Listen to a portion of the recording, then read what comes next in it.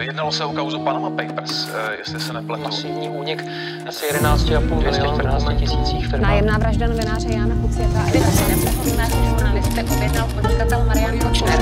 Povídám soudní kauze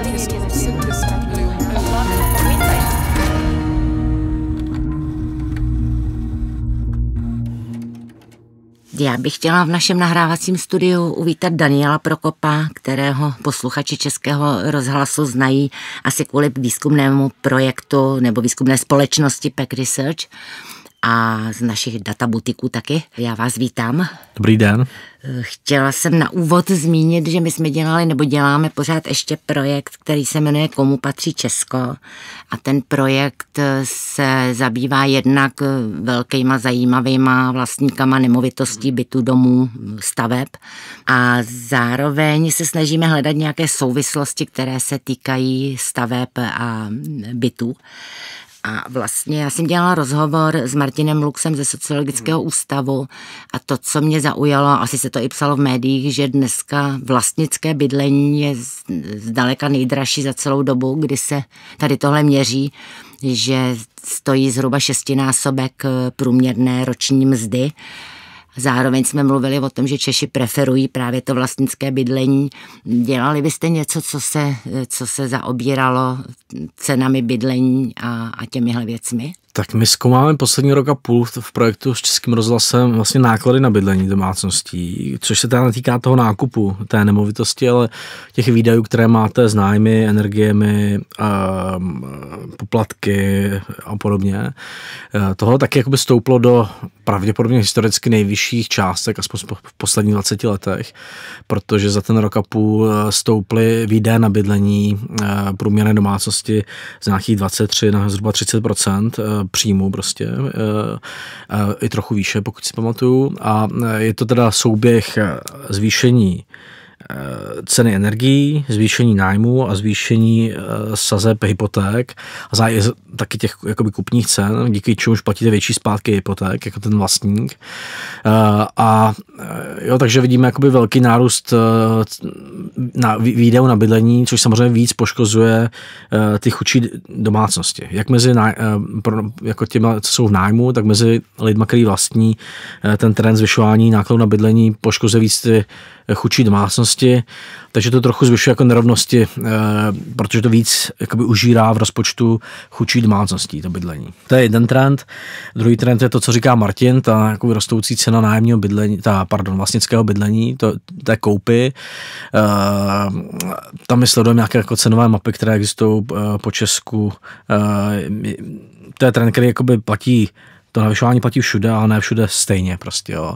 To samé cena nájmu třeba eh, je velmi odlišná v různých částech republiky, což není překvapivé, ale jako je to zhruba dvojnásobek třeba eh, té metrové ceny v Praze a nejchudších eh, oblastí České republiky.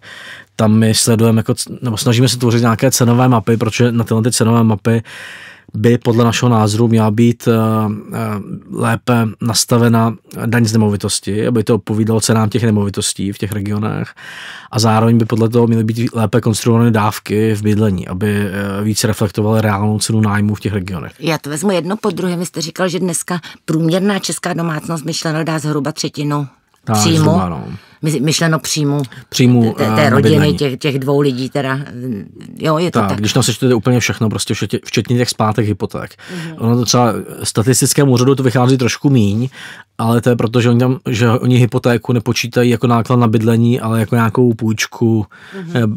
bez jakoby účelu jasného, takže ty mají ty čísla menší, ale v, v průměrné české domácnosti dneska to je přes 30%, a je to výrazně víc než před rokem a půl, to, to bylo 23% mm-hmm. zhruba. No. A skočilo to těma energiema samozřejmě a sami o sobě nájmy, e, hypotéky, to šlo taky nahoru teda. Energie, hypotéky specificky jako by to zvýšily v, pra- v Praze ty výdaje, protože samozřejmě ty vyšší úroky e, jako by vám to zvýší při jako citelně při vyšších cenách eh, a potom nájmy, eh, kde jo, tam může být změna až o 20% během tří let podle zákonníků, takže tam jako taky vidíme nějaké navyšování. Jo. Co to redukuje, jsou naopak strategie jako stěhování se do menších bytů nějaké části lidí. Jo. Ale jakoby ty výdaje na bydlení jsou relativně vysoké teďka, zároveň prostě uh, oni jsou hodně pro, vysoké mezi nějakými typy domácností. Uh, chudší polovina rodin s dětmi, uh, ty chudší nájemníci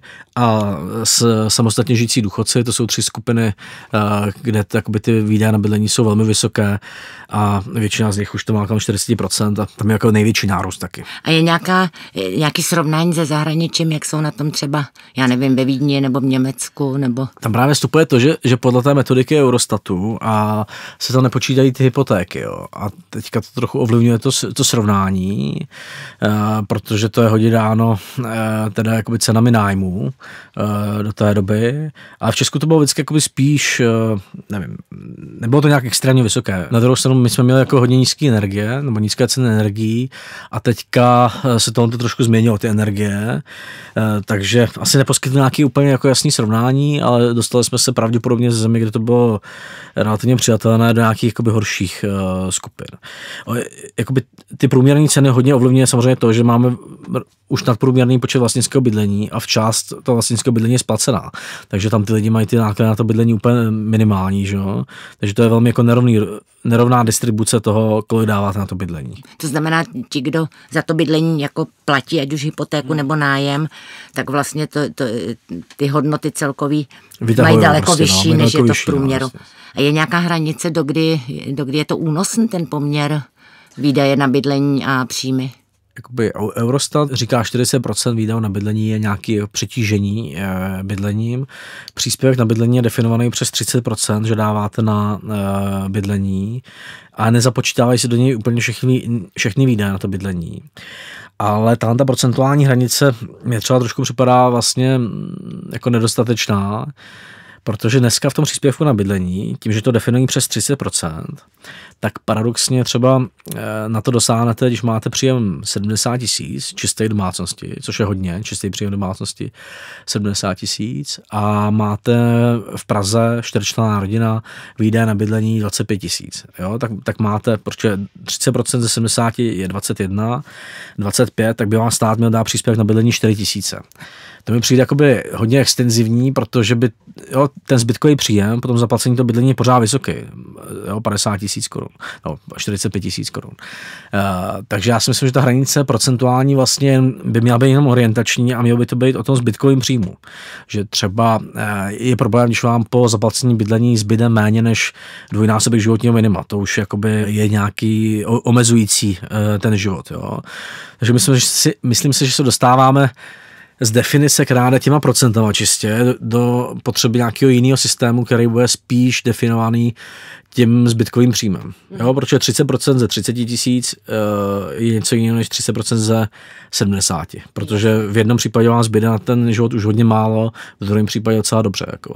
Hmm, to zní tak logicky, že mě překvapuje, že to zatím není zohledněný. No, ono to prostě, bohužel ten čes, český systém dávek je tak fragmentovaný, že v jedné dávce, to je doplatek na bydlení, což směřuje zejména na ten doplatek na eh, nebytové bydlení, ty ubytovny, neskolorované domy a tak, tak tam to zohledněno je, ten vlastně doplácí nějaký zbytkový příjem tom příspěvku na bydlení, který naopak směřuje jako na bytové bydlení a pod nájmy taky, tak tam to zohledněno není. Jako jo. Ten systém je český jako dávkový je relativně složitý, spousta dávek, některé jsou duplicitní, jak říkám, doplatek, příspěvek na bydlení, z hlediska toho účelu vlastně, uh, jsou konstruovaný oba jinak prostě, takže já myslím, že uh, je to takový podnět v tom dávkovém systému, i, která, i v, tom, i v té části, která podporuje to bydlení, udělat nějakou velkou reformu, která ho zjednoduší a, a zároveň, co jsem říkal na začátku, naváže tu výši těch podpor a nějakých maximálních přijatelných nájmů na ceny v těch regionech, jo? protože eh, dneska máme problém, že eh, ty maximální přijatelné ceny, které můžete reportovat do tělen těch eh, dávek, jsou dané velikostí obce, takže dejme tomu Karviná v tom má lepší postavení než Černošice u Prahy, jo? takový extrémní řeknu. Takže jako ten dávkový systém potřebuje hodně reform, aby adresoval ty potřebný, aby byl jednoduše čerpatelný a aby, uh, aby nepomáhal tomu obchodu s chudobou. Eh, Naopak, aby podporoval ty lidi, aby zůstávali v těch obcích, kde to potřebují, jestli mi rozumíte, jo? aby se nestěhovali eh, do chudších oblastí a podobně. Tam, tam to vůbec nezohledňuje, kolik člověku zbyde teda, ja- jaká částka. Ten příspěvek ne, ten zohledně to procento a jenom. nezohledňuje ani, jaký je, jaký je reálně nájem v té obci, zohledňuje jenom velikost obce. To jsou ty stropy. On, ono to zohledňuje váš reálný nájem, který vy tam dáte, eh, Jasně. reportujete, Ale ale, strop- ale jsou nějaký stropy, které říkají v Praze pro čtyřičnou domácnost by to mělo být maximálně 25 tisíc a teďka v nějakým chudý obci větší, nebo právě chud, chudba tam není zohledněna, ale v nějaký středně velký obci maximálně 18 tisíc, jo, třeba. Ale právě tím, že tam není zohledněna chudoba v těch stropech, ale, ale jenom ta velikost obce v tom příspěvku na bydlení, tak to vede tom, k tomu, že v některých chudých městech je tenhle ten strop, ten limit, co tam můžete dát, relativně vysoký. A to samozřejmě uh, vede k tomu, že se můžou navyšovat nájmy, pro část populace, která je na tom příspěvku závislá a nemůže si vybírat na tom trhu. Typicky třeba jakoby samoživitelky, sociálně vyloučený. eh, Jo, ty mají špatný postavení na tom, na tom trhu s bytama, protože objektivně nechtějí ty lidi. Když jste v Česku Rom, tak prostě jenom vaše příjmení vás eh, hodně znevýhodňuje na trhu s, by, eh, s bydlením. A teďka jakoby, co samozřejmě vede k tomu, že když se kombinuje tohleto horší postavení, že ten člověk si nemůže vybírat, a, možnost nafouknout ten nájem s tím, že to doplatí stát, tak to může podporovat eh, obchod s chudobou, že se ty nájmy dostávají na horní hranici toho, co eh, je schopný doplatit ten příspěvek na bydlení. Jo. Tak to je vlastně jako systém, který by asi neměl existovat, protože on na druhé straně pro některé části domácností může být moc přísný. Černošice, malá obec u Prahy, pravděpodobně nájmy jsou tam vysoký, nebo nějaký Běchovice a tak. Jo. A to znamená, tohle je i podstata, proč je možný obchod s chudobou, že někde, kde je nájem 4 tisíce, já napálím nájem 18 tisíc, vejdu se do toho limitu, je-li to středně velký město a eh, jako zhodnotím vlastně byt, který jsem lacině pořídila, nebo pokud je byt, tak to vlastně jako ten systém eh, um, stropuje tím, že tam máte ty stropy, který ale nejsou optimálně nastavený podle chudoby a nebo míry eh, reálné ceny nájmů v těch oblastech. Jo. Takže v těch chudých velkých městech, proč je to podle velikosti obce, tak to v těch chudých velkých městech to- je to relativně vejš než reálný nájmy eh, průměrný a umožňuje to tohleto navyšování eh, těch nájmů lidem, který jako nemají na výběr na tom trhu s bydlením tolik, s tím, že to vlastně doplácí stát. Jo. Takže tohle to jako je lepší, nutný líp zregulovat, aby jsme nepodporovali ten obchod s chudobou. No a zároveň je nut- nutný kromě těch dávek mít silnější segment eh, toho řešení eh, v sociálním bydlení. Protože my eh, že jo, chceme, aby ty lidi, kteří ztratí bydlení, když je to nějaká samoživitelka, rodina, tak aby ideálně zůstali eh, v tom místě toho bydliště. Protože stěhování má velký náklady v, eh, vy roztráte sociální kontakty, takže ztratíte sociální kapitál, potom ty rodiny jsou častěji jako ne, ekonomicky neúspěšný. A Zároveň děti to poškozuje ve vzdělávání a podobně, takže ten systém by měl se maximálně snažit o to, aby ty lidi zůstávali tam, kde třeba přijdou o to nájemní bydlení, komerční. No a, a tyhle ty nástroje má ta česká politika bydlení slabý, protože nemá systém sociálního bydlení, to mají jednotlivé obce, nemá moc dobrý systém asistence se splátkou nájemní kauce. Často ty lidi mají na ten nájem, ale nemají třeba na ty dvě kauce nebo tři kauce prostě. Uh, a uh, jo, takže jako nemá systém, který by je uchovávali na tom trhu v, v té lokalitě, jo, na, v tom bydlení. A proto oni se jakoby častěji, nebo v minulosti taky to bylo, že se stěhovali vlastně za těma levnějšíma nájmama. No a vy, vy jste říkal, že ty vysoký výdaje nebo náklady, nebo jak to správně říct na bydlení, že vedou eh, domácnosti k nějaké změně strategie. Co, to je ta změna strategie? Tak ně, ně, některý měnili bydlení teda, eh, ale to je malý počet na to, aby jsme to vyskoumali v tom našem vzorku nějakých 17 se domácností, ale eh, samozřejmě jako byl úplně, úplně vrchol šetření v těch oblastech, jo? takže v roce v této zimě 22 eh, nejintenzivnější nebo velmi intenzivní šetření na energiích, který eh, i proti zimě 21 výrazně narostlo. Eh, My viděli jsme, my koumáme od eh, začátku covidu tendenci šetřit na spotřební zboží a potravinách. To bylo taky vlastně nejvyšší od eh, začátku covidu, tak od roku 2020 teda začátku. Takže jakoby eh, to obezování spotřeby bylo relativně velký, ale, bylo taky jakoby eh, silnější mezi těma, dejme tomu, středně příjmovými a chudšíma obyvatelema. Jo. Teďka už vidíme to, že když máme nějakou typologii, kolik lidí šetří aspoň na jedné věci, na energiích nebo bydlení, eh, ta energiích nebo spotřební zboží nebo potravinách, tak to je nějakých dvě třetiny prostě, aspoň na něčem, ale mezi chudšíma lidma s nižšíma příjmama, to je drtivá většina, mezi lidma s nadprůměrnýma příjmama už je to tak zhruba půl na půl počet lidí, kteří se snaží na něčem vůbec šetřit a ne. Jo. Takže to se rozdělilo nůžky v tom, jakoby, nakolik ta inflace byla hodně silná na to, aby jakoby, uh, fakt uh, zhoršila životní úroveň těm chudým. Pro tu střední třídu už tyhle ty ceny jsou jakoby udržitelné v podstatě. Jako, no. na, na druhou stranu, když slyším o tom, jak domácnosti šetří, tak si jako říkám, jako ušetří, jo, že to je taková nějaká jako mantra současnosti, jako, že, že lidi šetří, ale ten, ten bonus z toho je jako... Ale jako by ušetří, je, ušetří jo? opravdu. Tam, tam se poklesla, meziročně poklesla tržby, myslím, abych teďka nekecal, ale za potraviny snad o 6%, jo, takže tam jakoby je, je reálná redukce, redukce těch tržeb v, v, v obchodech. Jako.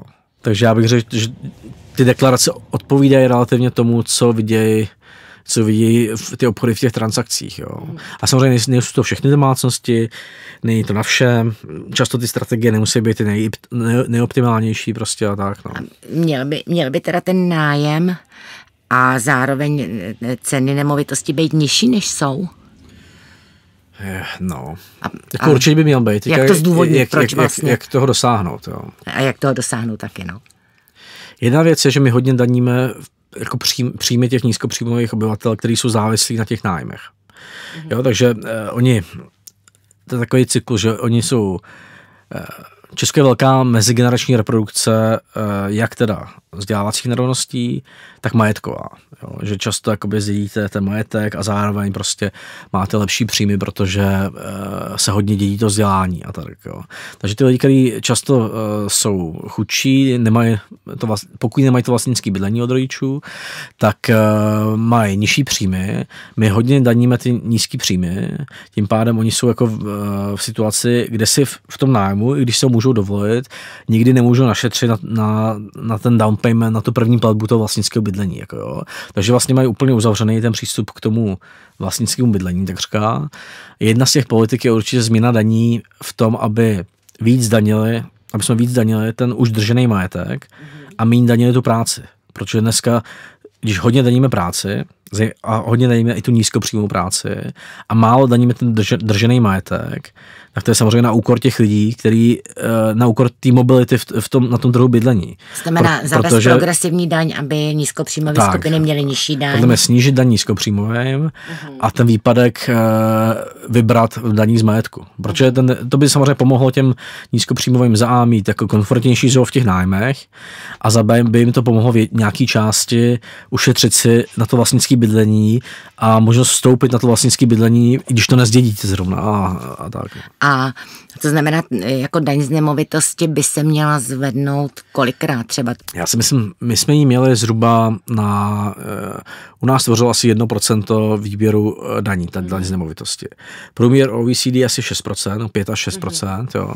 ale i průměr jako srovnatelných zemí v okolí České republiky je kolem 2 až 3 jo. Takže já si myslím, že bychom jí mohli... Jako to, to je na výběru ten, na výběru, jako, ne, že, ne z ceny nemovitosti, ale... Jo, kolik, tvoří, kolik, kolik, z, kolik z vybraných daní uh-huh. celkově a odvodů a příjmu státu tvoří daň z nemovitosti. Uh-huh. Tak u nás je to 1%, průměr OECD těch zemí je asi 5 až 6 ale i průměr okolních zemí asi 2 až 3 jo. takže i v Polsku je vyšší a podobně.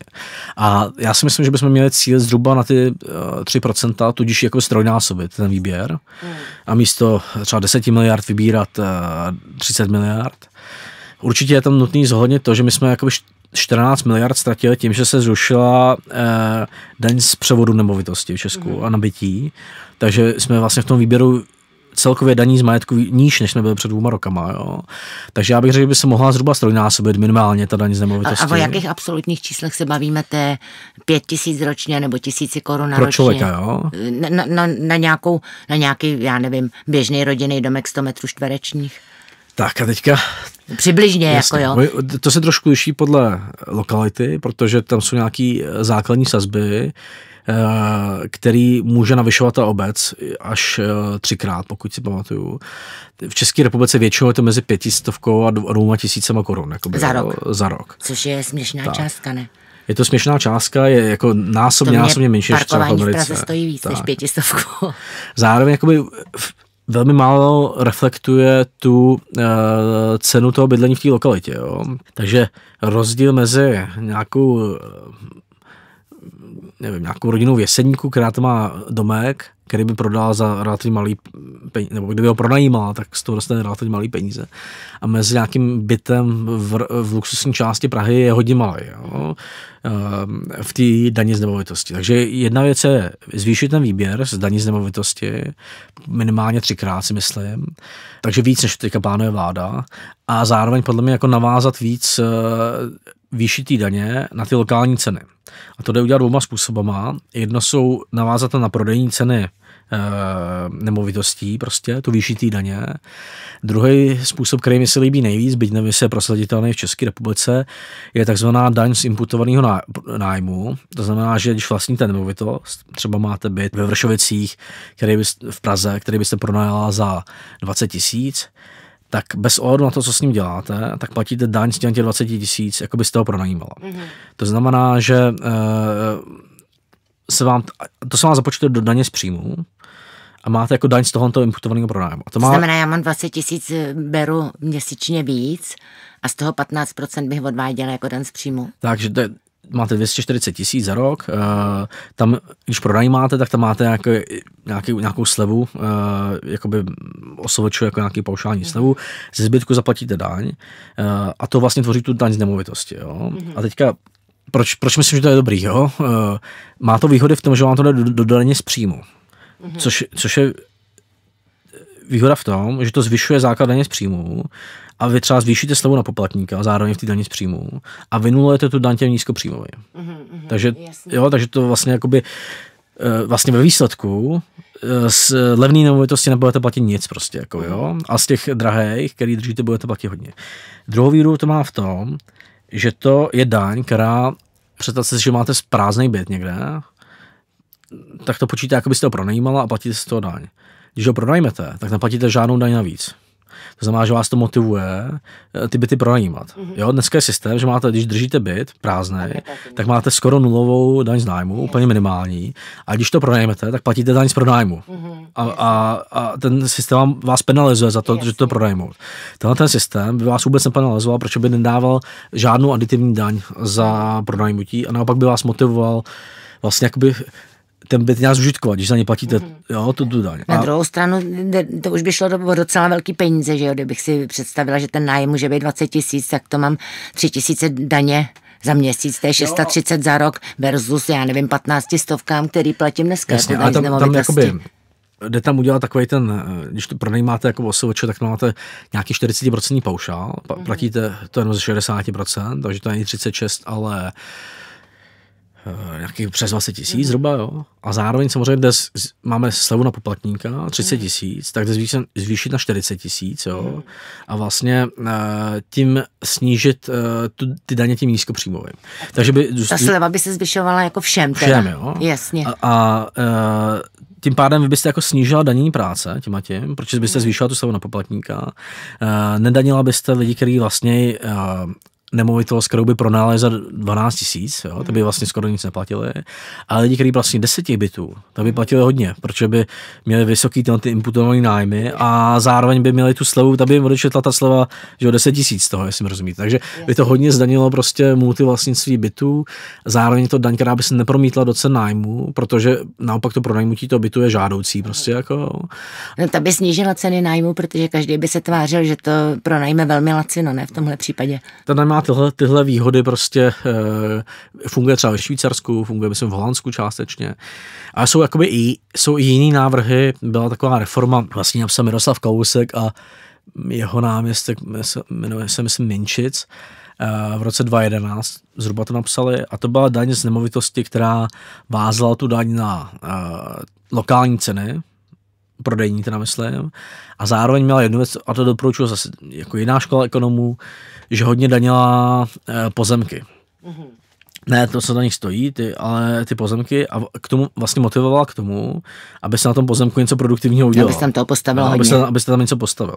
Což taky jakoby samozřejmě zajímavá myšlenka. Jo? Motivovat k tomu, aby se, byť třeba Ma- Martin Lux tomu nevěří, že je řešení přes tu nabídku a tu výstavbu, tak já si myslím, že ten, ta realita je jako mix nějakých řešení, jo? že ta nabídka, ta výstavba nestačí, ale samozřejmě v kombinaci s dobrým daňovým mixem, který motivuje k pronajímání těch bytů, tak by to bylo dobré jako podporit, podpořit tu výstavbu. No. No my jsme s, s Martinem Luxem narazili právě na to, do jaký míry investiční eh, pořizování bytů teda zvyšuje nějak, nějaký ceny na trhu. A mm, on měl takový nápad, že by, ty, že by vlastně nezvyšoval daň z nemovitosti vůbec hmm. a radikálně by zvýšil investiční byty třeba na 20 násobek toho, nájm, toho, toho co se dneska platí. Je to něco, co vám konvenuje nebo úplně ne?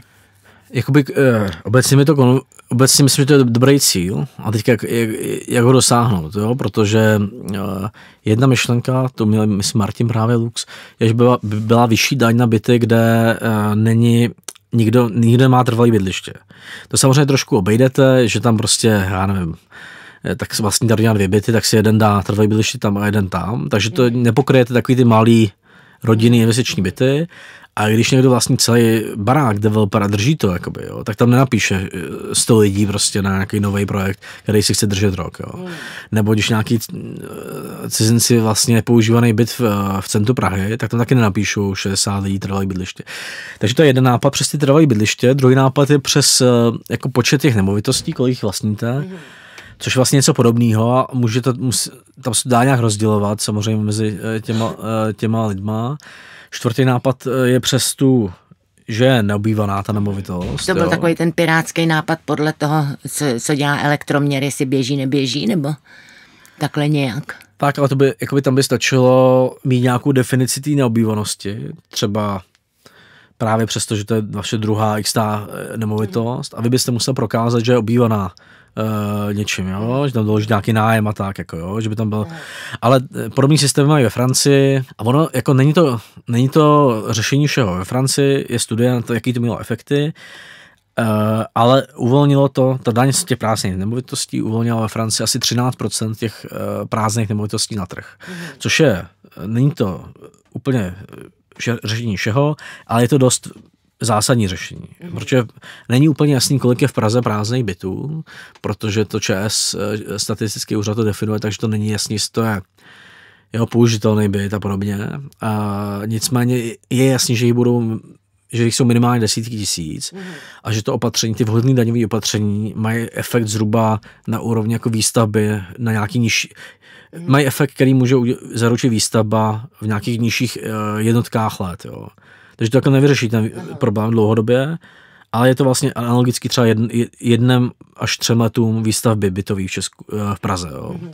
Takže podle mě to, by to v tom mixu mělo být, ale zároveň jakoby by v něm mělo být posílení ty nabídky, jo, že to prostě tam je nutný jít všema cestama. Jako.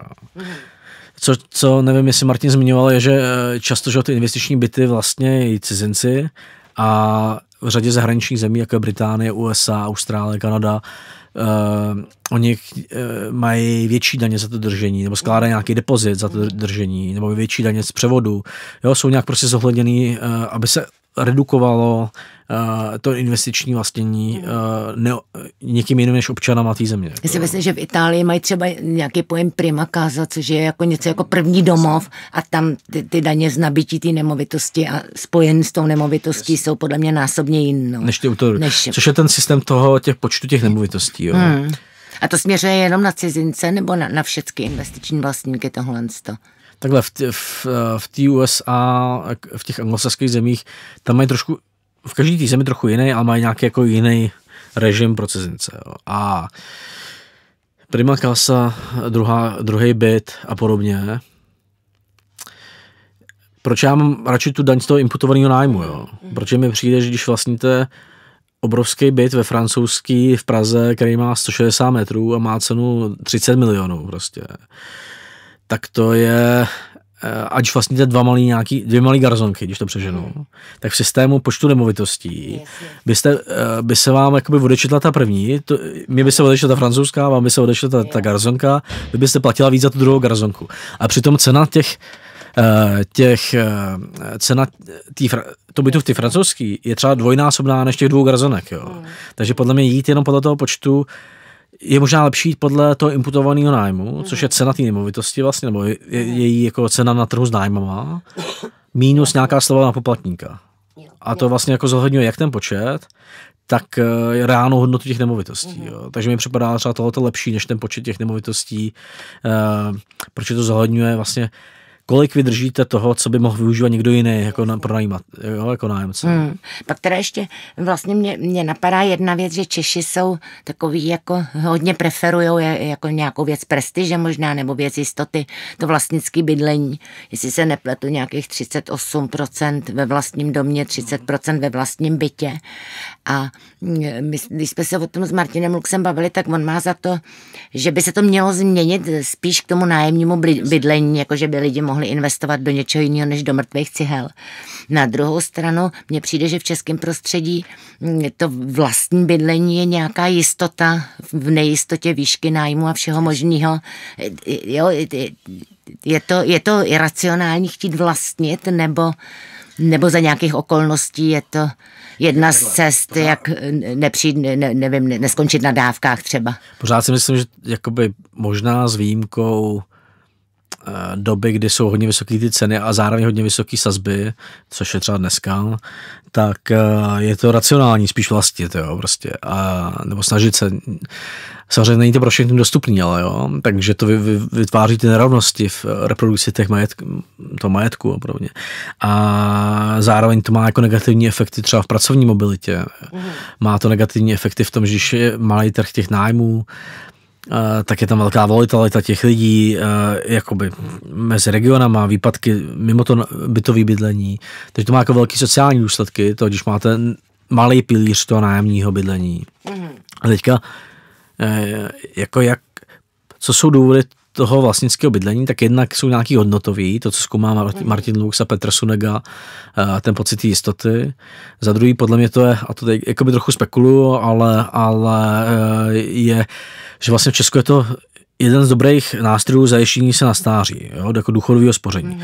A to samozřejmě souvisí s tím, že máme velmi špatný ty e, ostatní možnosti, že ten třetí pilíř důchodový prakticky nefunguje, má malý výnosy, velký mhm. poplatky bank, jo, e, takže nějaká jako eh, reforma důchodová, která zlepší funkci toho třetího důchodového pilíře, taky pomůže, by pomohla tomu, že méně lidí by sázelo na, na ten nákup těch, těch bytů mm. jako investice na stáří. Já když o tom uvažuji jako už poměrně starší člověk, tak mě mít nemovitost jako přijde výhodný z no, toho jasně, důvodu, že, Nebudete platit že nebudu, když nebudu mít na nájem, tak co si počnu. Zatímco, když neunesu náklady spojené s nemovitostí, tak ji prodám, koupím menší, vezmu si nájemníka, jasně. cokoliv, jo? že, že to, to spektrum těch možností jo, jo.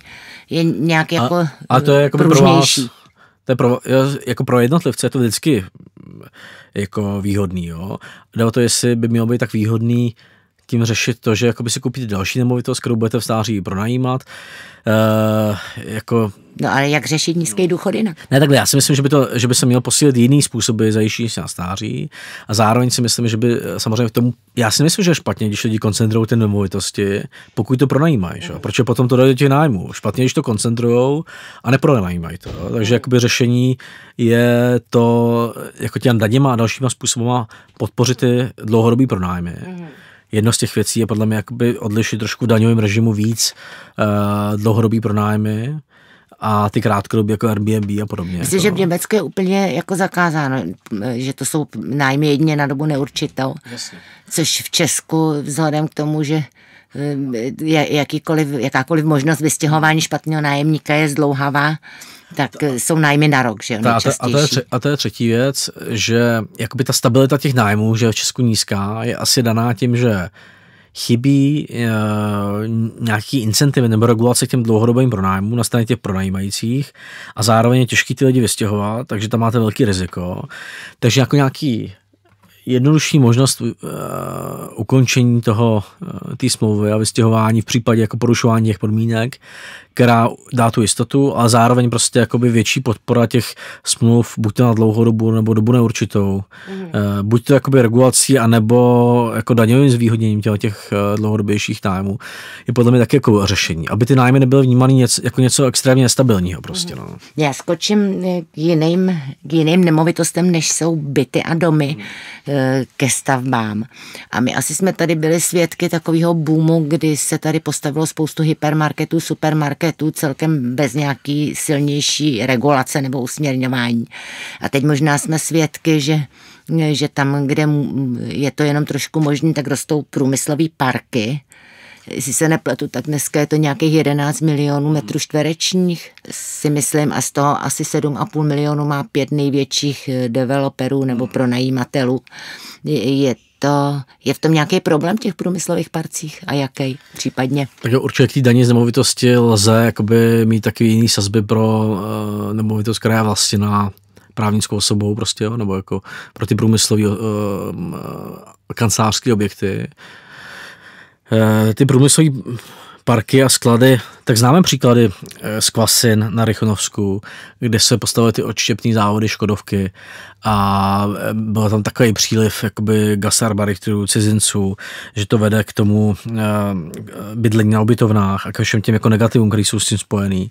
Podobně to je na Tachovsku a na, jako na těch periferiích Plzeňského kraje, kde si na to ty místní hodně stěžují. Takže myslím si, že kdyby se stavěl třeba projekt jako je Gigafactory v, v Líních, to je ta hmm. výrobna na elektrické baterie, která teda podle plánu Škodovky měla fungovat trošku jinak, že by tam přesunuli jakoby část těch, e, že by to nebyly jenom jakoby zahraniční pracovníci, e, tak ale i tam se ukazuje, že v tom okolí by byla potřeba nějaká bytová výstavba, která musí vzniknout jako desegregovaně, aby to eh, pravděpodobně, aby tam se netvořily ty ubytovny a tak. Jako. Takže jako myslím si, že ta politika bydlení by se měla zohledňovat v tom, když ten stát povoluje nebo podporuje tu, uh, tyhle ty výstavby, jo, těch jako vel, velmi velkých průmyslových projektů. A on tam do toho stát ale asi nemá moc co mluvit, ne? Tam je prostě někdo majitel toho pozemku a pak, když je v územním plánu, je to jako tak jako má. Pro tohle jako určená tam, plocha? Tam se, jedna, tam se jednalo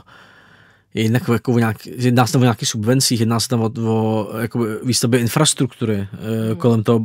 Myslím si, že tyhle ty projekty budeme potřebovat, jo, aby eh, ta, ten starý průmysl se reformoval třeba do toho nového průmyslu. Takže já si myslím, že třeba ta Gigafactory, kdyby byla dobře promyšlená ten projekt, tak je spíš přínosem, hmm. protože v tom by podpořila třeba kvalitní střední vzdělávání, kdyby byla dobře udělána. Ale má hodně negativ, pokud se nepromyslí ty dopady na, na, na vzdělávání, bydlení a podobně. Jo. Hmm. A ten stát by podle mě měl pomáhat s budováním té infrastruktury, aby ty projekty vznikaly a zároveň by mnohem obezřetnější v tom, co vyžaduje od těch firm, jaký investice dlouhodobí do, do té infrastruktury a podobně. Jako. Hmm. Aby tam, aby tam nevznikly ty kvasiny prostě, jako. Což já myslím, že je poučením pro tu Škodovku prostě, jako ty kvasiny. Protože přitom Škodovka je taková docela, jako bych řekla, fajnová firma. Jo, jasně, tak tam jsou, tam jsou odštěpný závody prostě, eh, který dodávají eh, produkty pro ty auta, jo kde prostě ta kultura trošku jiná pracovní než v té škodě. Ale takže jako myslím, že ten ty projekty by jim pomohlo prostě, kdyby jsme kdyby ten stát byl klidně aktivnější v jejich získávání, protože třeba Polsko a tedy jsou v tom mnohem jakoby důraznější u těch koncernů a zároveň jako víc požadoval uh, investice do té infrastruktury, do vzdělávání v té oblasti a hmm. tak. No. To znamená, jako obecně chceme ty průmyslové parky, nebo? Jako, něk, to se záží, jako jde o to, jestli to je úplná montovna, nebo je tam nějaký know-how, jo. To já myslím, ale že, že nikdo rozlišovat nemůže, ne? Že tam ty dohody jsou spíš jako třeba, já nevím, o pronájmu ploch jako s tím budoucím využivatelem tak toho. můžete v tom, eh, jakoby, když tam je nutná nějaká intervence kraje státu, hmm eh, povolení, eh, podpora v té infrastruktuře, tak můžete rozlišovat, můžete si dát podmínku, že hmm. chcete, aby, nevím, na plzeňské fakultě byl výzkumný pracoviště, který bude vyvíjet jako technologie pro tu gigafactory, pro ty ba- baterie a podobně, aby to nebyla jen ta montovna, jo? takže já si myslím, že to jde, jako v některých, v některých úplně nej, nejhloupějších montovnách to nejde, tam je jasně, že to je montovna prostě, jo? ale v některých projektech tohohle typu bych řekl, že by stát se měl snažit, aby to nebyla jenom montovna prostě, jako. A zároveň, aby tam aby tam nevznikalo to segregované bydlení agenturní pracovníků a, za, a cizinců prostě, jako, jako, jako, je na tom v těch nějakých částech mm, periferiích Plzeňska nebo, tě, nebo, nebo těch klasinách. Ale jde to vůbec jinak, když jako je to spojené s tím, že si sem firma naveze zahraniční agenturní pracovníky, tak Jo, já si neumím představit, že, že by je rozptýlila jako pobytek v Činžáku, nebo jako co s tím dělat? A to je jako zase podle mě takový to, že ten že jakoby stát reguluje nějak eh, přísun těch zahraničních pracovníků, svaz průmyslu tlačí na to, aby se ty kvóty uvolnily prostě. Ale potom paradoxně jako neexistují dostateční uh, regulace a jejich vymáhání na to, jak má vypadat to bydlení, jak oni mají přispívat prostě třeba, dejme tomu, na jazykový vzdělání v tom regionu. V České lípě je mongolská menšina pracovníků a už je to už před tou Ukrajinou to byla velká zátěž na ten vzdělávací systém, ta výuka těch jazyků. Jo. Takže za mě radši povolit víc jakoby uvolnit tu pracovní migraci a být mnohem striktnější v tom, eh, že se vyžaduje to desegregované bydlení, mm.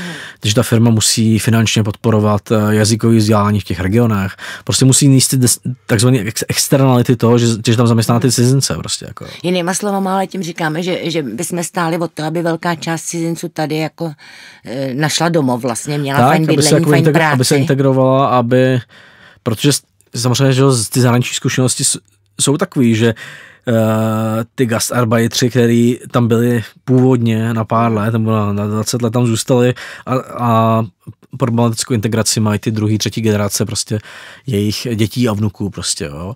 Takže my bychom podle mě tu pracovní integraci měli dělat tak, že snažit se naplnit ty uh, pracovní kvalifikace, což třeba u těch mm. Ukrajinců je velký problém.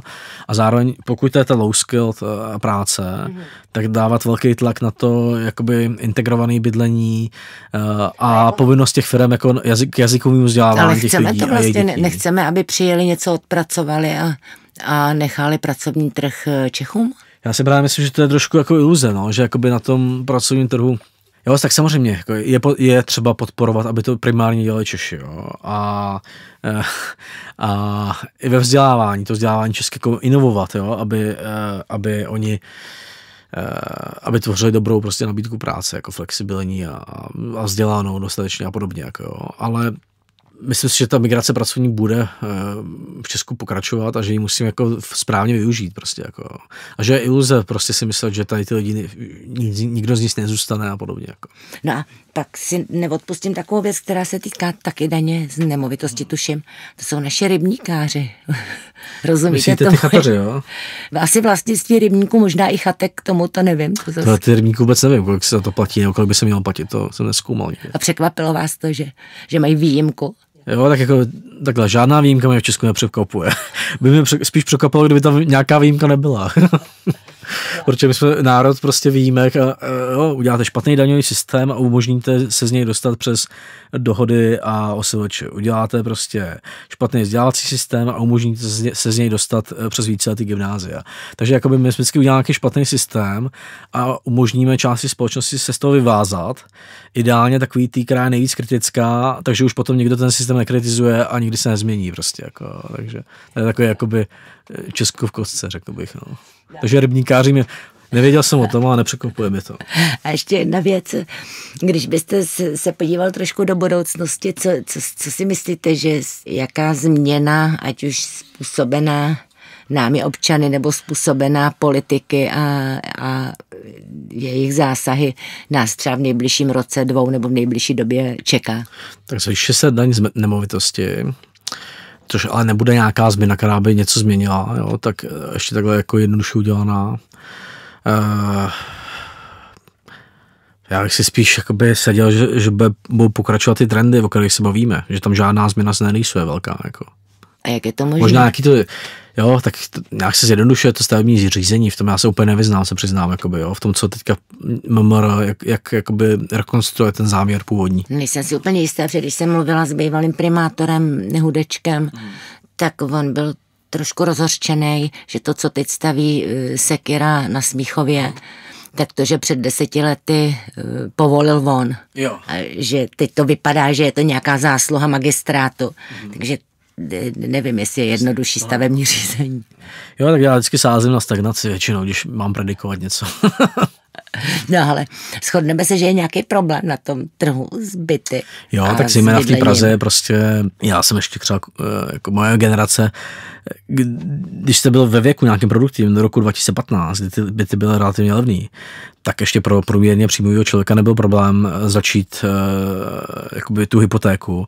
Teďka pro stejného člověka je to prakticky nemožný pro malýho. Jako, Ty už byste si na ní netroufnul. takhle, teďka ve stejné pozici člověk jako já, s, s, těma, dejme tomu průměr, v těch 30, když máte ty průměrný příjmy, tak je to pro ně jako nedosažitelný. I, ten, i, ta, I ta první splátka těch hypoték, když máte v Praze teda ty byty, eh, dejme tomu pro rodinu, kdybyste chtěla nějaký byt, tak už prostě pod eh, 8 milionů neseženete, tak ani ten down payment prostě jakoby eh, tu první splátku v podstatě jako je velmi těžký si eh, dovolit, jo.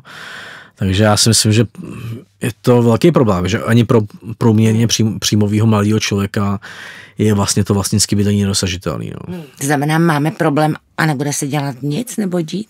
Já prostě doufám, Martin to eh, Lux to predikuje dlouhou dobu, že jakoby ta bublina trošku splaskne, že přijde, eh, samozřejmě se sníží ty, doufejme, že se brzo sníží ty sazby eh, úrokový u těch hypoték, jo, což hraje velkou roli v té dlouhodobě, kolik přeplatíte. Jo, tak doufám, že jako nějaká kombinace té výstavby, vyšší daně z nemovitosti povede a dejme tomu ještě většího zaměření některých municipalit, obcí na takový ty typy o tom jsme nemluvili, opatření typu uh, garantovaný nájemní bydlení, že jako uvolní víc těch bytů do toho oběhu prostě. Jak, jo. Garantovaný nájemní bydlení, na to teďka sází Ministerstvo pro místní rozvoj, to je vlastně jako opatření, který proč lidi pro výzkumu nechtějí pronajímat, když máte, když má takový ten byt, jeden rodinný, který, já nevím, používá někdo dva měsíce, jak je volný, že hodně těch lidí jako nikdy nic nepr- nepronajímalo. A proto nechtějí, mají představu, že to je velmi problematický, hodně prostě úsilí, eh, rizik a tak. Uh, jsou jako nováčci na tom, na tom v té roli toho pronajímatele. A to samozřejmě jde, jakoby, tenhle pocit jde ovlivnit dvouma věcma. Jednak tou daní za tu prázdnou nemovitost, nebo druhou, anebo a teda, že vás něco stojí, to rozhodnutí, že to nepronajímete a držíte to na to prázdný. A druhý, druhá věc je nějaký ulehčení eh, a, a snížení těch rizik. Jejich, jo? A na to míří to garantované nájemní bydlení. To znamená, že to vy, vy to jakoby vlastně poskytnete do nějakého fondu, nějaká nájemní agentura, eh, třeba městská, to pronajímá, eh, stará se o styk s těma, eh, s těma nájemníkama, garantuje vám, že když se tam něco zničí, tak vám to opraví a, a podobně a vy máte jenom příjem z toho nájmu prostě. Jo, takže to je to, to, je to garantované nájemní bydlení, který by zejména se díky tomu můžou dostat takový ty chudší lidi, který eh, jo, problémový, nebo problémově vnímaný, který mají jakoby horší přístup k těm bytům. Jo. Má to, je to dobrá myšlenka, která může mít hodně úskalí. Jo? Může to být tak složitý, že, že tam někdo ty byty nedá, prostě, protože se s tím nechce štvat. Jo? Já si myslím, že by to mohlo být, kdyby to bylo dobře udělané, jednoduše, zároveň mi třeba měly obce povinnost do toho dát část bytů a, a potom ta nájemní agentura eh, má nějaký jakoby, daný pravidla, kdo má, kdo má preferenci v tom, jo? třeba ty samoživitelky a podobně, tak to může být jedna z uh, řešení toho její bytový nouze těch, těch chudých lidí. Jo? A, je, a taky řešení, jak tam dostat víc bytů eh, do té nabídky. V kombinaci s, těma daně, s tím zatížením uh, vlastnění prázdných nemovitostí nebo nějakých jako mnoha, mnoha nemovitostí. Jako no. Jo, a taky ta, ta daň z pronájmu, ta daň z toho nemovitosti má Ona v té Francii, ta daň z těch prázdných nemovitostí uvolnila 13% prázdných bytů a zároveň samozřejmě vybrala peníze, za kterých se dají opravovat obecní byty. Jo? Takže ona má, samozřejmě i ten výběr je nějaký pozitivum. No. Takže takhle, doufám, že kombinace těch těch opatření i malých by to mohla zlepšit, ale myslím si, že realistická odpověď je spíš to, že nic z těch opatření není tak jakoby zásadní, aby s tím trendem toho velmi drahého bydlení v Praze v následujících třeba pěti letech pohnula prostě. Jako. Tak se Praha vystěhuje na venkov. Nebo co bude? Jo, samozřejmě takový ty, tam je řešení i posílení těch té příměstské dopravy, jo, eh, takže těch řešení, já si osobně myslím, že tady se musí vlastně úplně všema cestovat dohromady. Že takový ten spor, jestli eh, je to nabídka nebo struktura daní a teda je jakoby fiktivní, to prostě musí být všechny ty opatření. Tak já děkuji hrozně moc za návštěvu. Já děkuju. Těším se zase na viděnou a naslyšenou. Jo, díky, naslyšenou.